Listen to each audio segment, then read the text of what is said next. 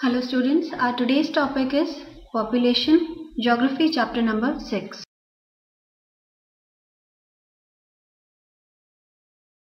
Whenever we hear this word population, a general scene comes in our mind relating that there are a lot of people stricken by poverty, not having a proper place to live, not having sufficient food and all these sick kind of conditions but that is not the complete picture I'd say.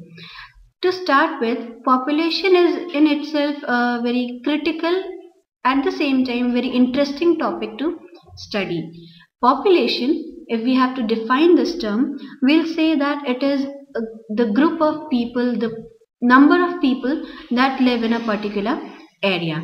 Now, the people themselves may not turn out to be of a lot of use to us, but it is the people only who make and use resources and are themselves resources with varying quality. It is until and unless that the human beings identify and make use of anything that is later on turned into a resource. So the number, the distribution, the growth and the qualities and characteristics of the population of any area is worth studying and analyzing in an understandable manner.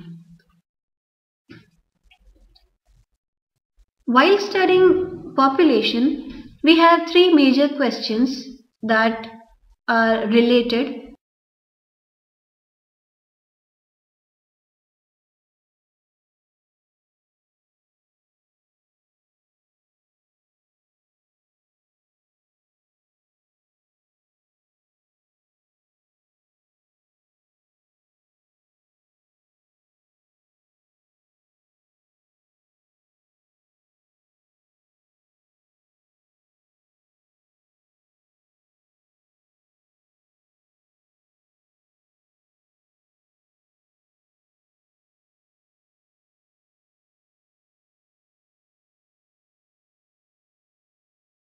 the size and distribution of the population,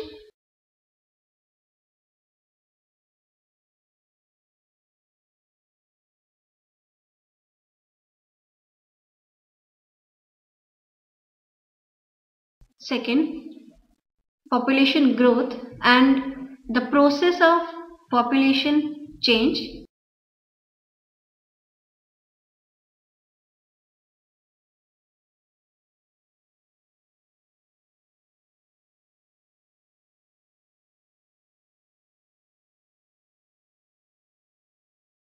and the last one the qualities or the characteristics of the population.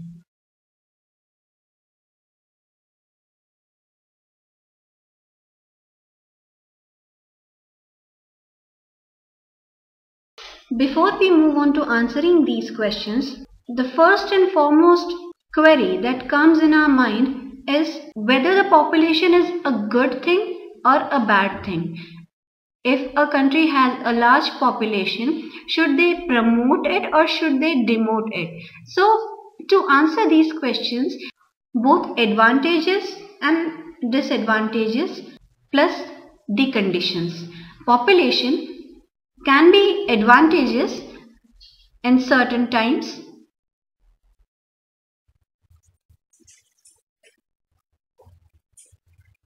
only if we find that the population is providing us with the labor force.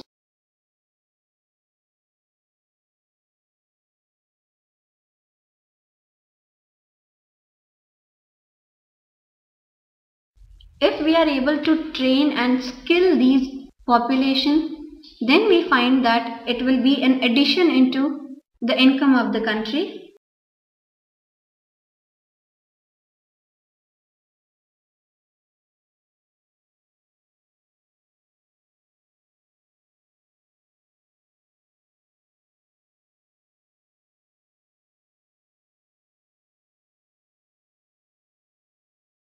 And finally, there will be an addition into the market and income of the country.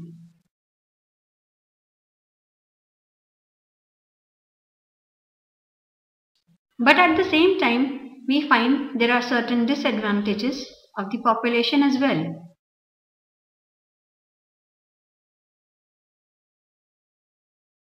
To start with, there will be a lot of people that will have to be fed and taken care of.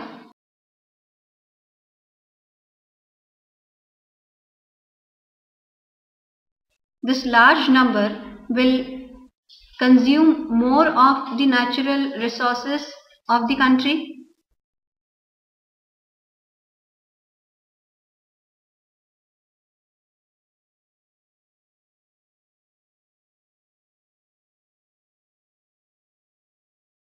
and ultimately it will lead to a large distribution of the income.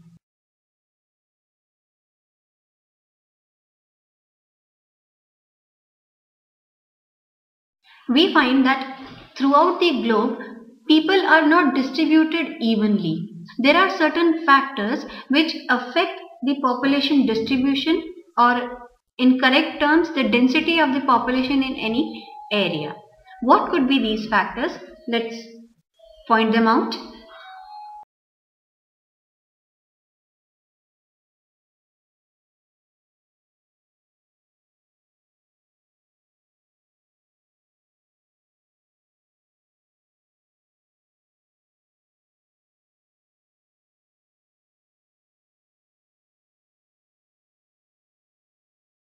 The first point which affects the population density of an area is the availability of resources.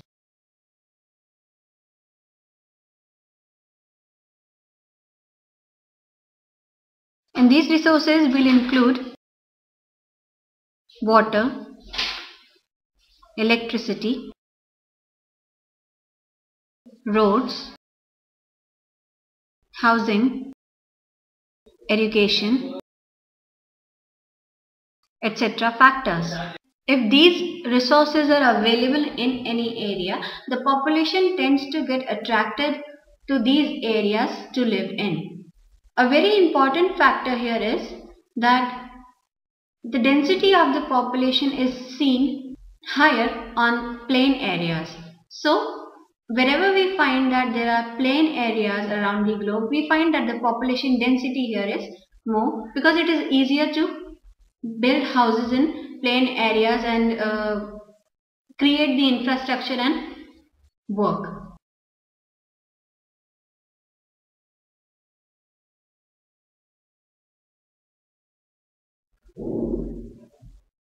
Climatic conditions are yet another factor which force the people to live in any area if there are areas with extreme climatic conditions, we find that the population do not intend to live in these areas. So, suitable or moderate climatic condition is an important factor which influences population density.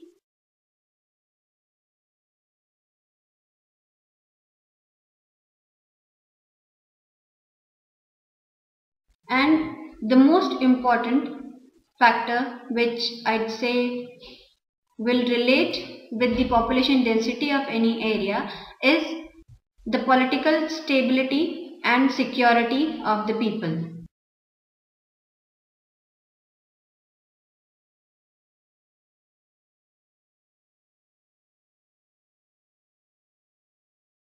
We generally find that in countries or in areas where there is a lack of political stability, the government is not stable, it tends to change in a very short duration which ultimately results into change of planning, change of all the programs that have been running in the country which affect the lives of the people. So we find that the population in these areas usually intends to move away for example, if we find the countries like Afghanistan, Pakistan. Here we find that there is a lot of political instability. Sri Lanka and because of these conditions the national growth is very less which is because the population do not get the sufficient chances, opportunities to involve their 100% efforts in. Also, there is a lack of security because of the unstable government. So, people do not usually choose in air, to live in areas where there is a lack of uh, political stability and all kinds of securities. So, if we relate these factors with India, we find that the population distribution is very uneven. There are areas with the lowest densities and there are areas with the highest densities as well because of the geographical formation of our country. To study here, if we start with the states with the lowest and the highest population density will be Arunachal Pradesh, with the lowest population density and West Bengal with the highest.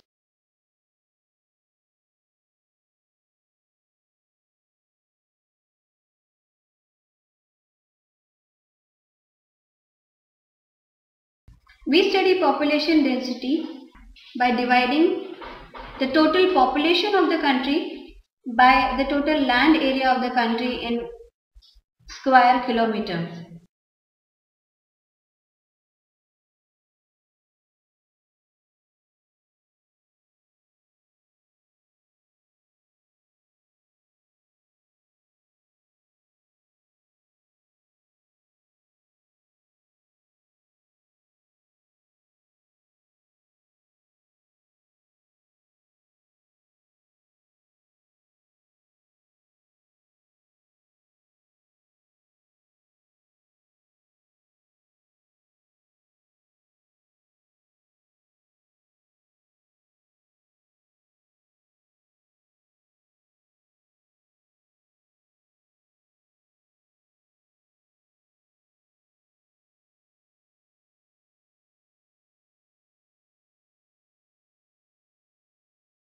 Then there are states with low density like Uttaranchal, Nagaland, Manipur, Tripura, Madhya Pradesh, states with moderate density like Assam, Maharashtra, Gujarat etc. and then states with the high density mm, like Tamil Nadu, Northern Plains, Kerala.